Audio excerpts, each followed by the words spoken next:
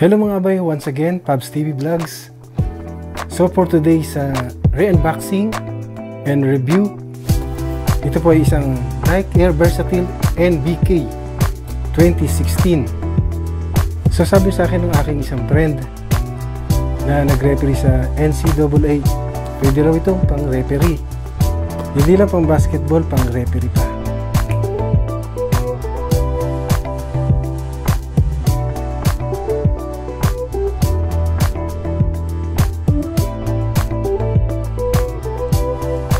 So bago ang lahat ay mag-Bible verse po muna tayo. Ganito po ang ating Bible verse daily. From uh, Psalm chapter 139 verse 10. Even though your hand will lead me and your right hand will hold me.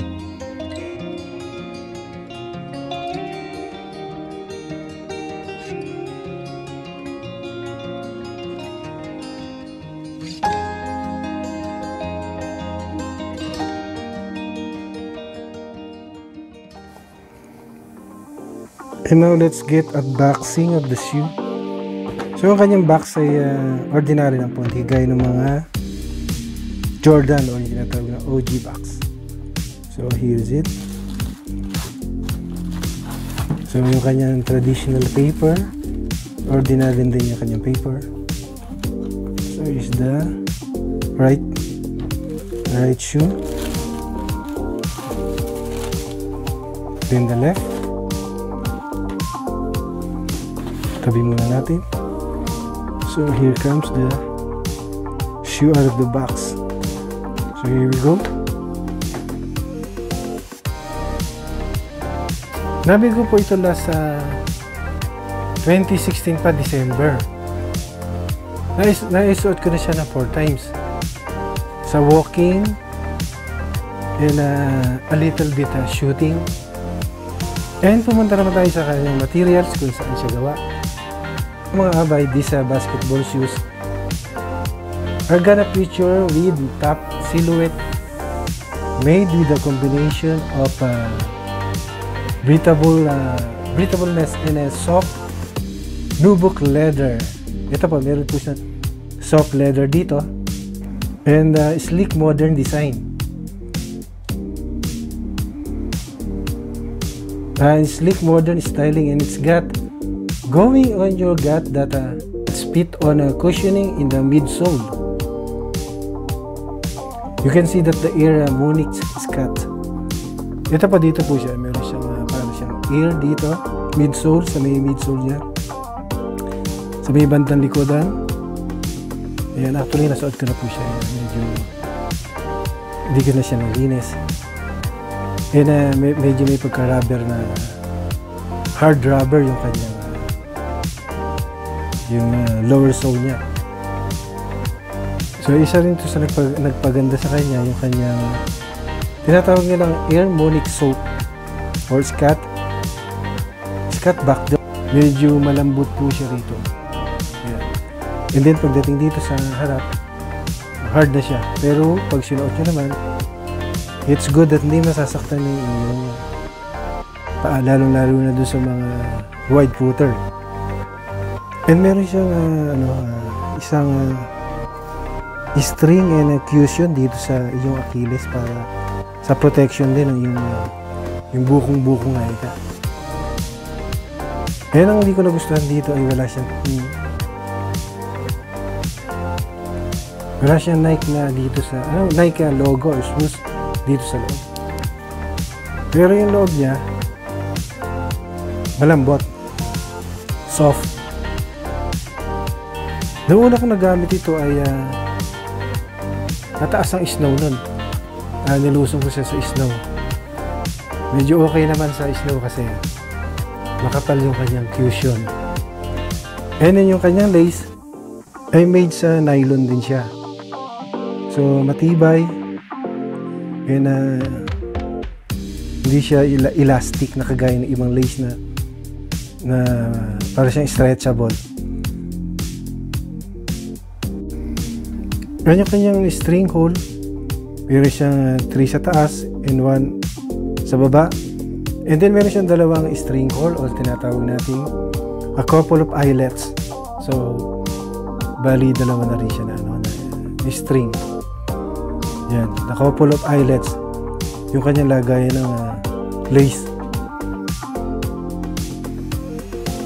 And sa mga cushion, sa mga gilid, ay uh, hindi siya uh, masyadong makapal pero secure din yung, yung mga bukong-bukong dito. Yan na meron siyang extension dito dun sa pinakasakong niya. So I think it's a uh, 3-4 inch ang haba niya. And uh, doon naman sa harapan or sa toe niya or sa toe uh, same as as usual yung mga sneaker natin na medyo patulis or uh, yung para ba siyang uh, nakaangat ng konti. Uh, most especially kasi yung mga Nike niya. O yung mga Nike models, medyo mataas ito ng konti. Yung iba naman medyo flat dun sa unahan. The lightweight, breathable, supportive. This means Nike. Uh, this is high cut, the NBK, the NBK or the Nubuck. Shoes are the new definition of all-around comfort and support on all game. It is an agile low top built with the overlaid textile upper, full length, foam, cushioning sa mga gilid, okay, sa mga yung, yung tang niya. Yung foam niya, okay din siya, medyo malambot. Pero kung i-compare natin sa iba, na like na mga in-unbox ko, makapal ito yung tama lang siya. And syempre, lahat ng mga hinahanap ng mga basketball player ay yung uh, tawag dito, yung uh, traction, multi-directional traction. Yan yung mga pattern siya. So, makapit din siya pag yung mga I mean, uh, sa laro, depende siguro sa sa sa floor or dun sa basketball court. So the sneakers, the NBK or the versatile uh, NBK uh, Air by Nike is uh, sneaker will keep you performing like a pro on the court. Air versatile. Uh, this is the one. Meron po tayong mga version na nito ng 1, 2, and 4. Ano, this is 1, 2, 3, and 4.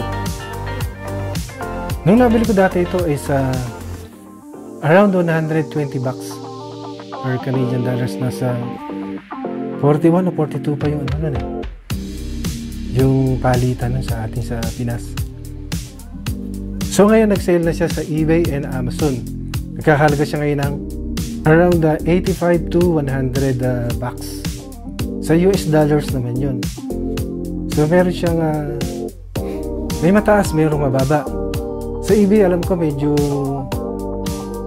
tumaas yata siya ng konti kasi binebenta na nila ngayon yung mga mga luma nila. Kasi alam niyo mga sneakers, pag naluma na ay eh, namamahal siya. Kaya maganda rin minsan mag-collection ng sapatos. Pero kung di niyo naman lusuot, it's fine, it's okay. So let's go back to the shoes. Yan yung kanyang uh, baka supported na uh, string ay uh, may stitches sa rito hanggang dito sa baba so siguro yung mga string na ganito pang for carry eh. for carry ha kaya mas madali siguro meron siyang ganito.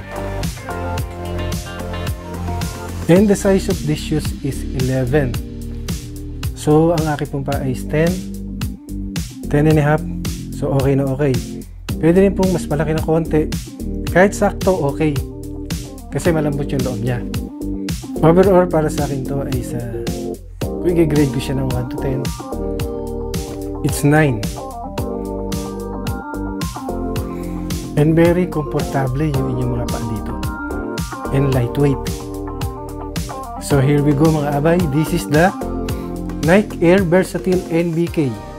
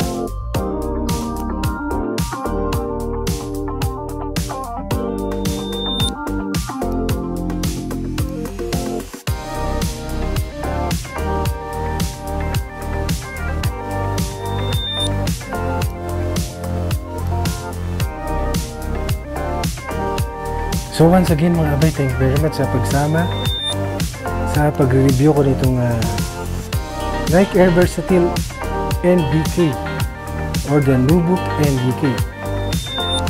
Thank you to LSYG, uh, Team Banana and uh, United Team International and uh, hi to my mother, Larita E. Pablo. And congrats nga pala dun sa aking brother kay Erwin Pablo and uh, Aiko Pablo sa newborn baby na si Yumi Abigail Pablo. Welcome to the world of fun. Okay mga abay, sana nagustuhan nyo ulit yung aking uh, unboxing and uh, subscribe for more para sa mga susunod ko pang mga video ng mga unboxing. Marami pa po tayong i-unbox na shoes. So once again, puro once again, I'm Pabs TV Vlogs. Like, share, and subscribe. And sabi nga po sa mga problema, sa mga pinagdadaanan, tumawag lang po tayo sa Panginoon at dirilingit po tayo. Sabi nga po, there's a rainbow always after the rain. See you on my next video. Thanks for watching!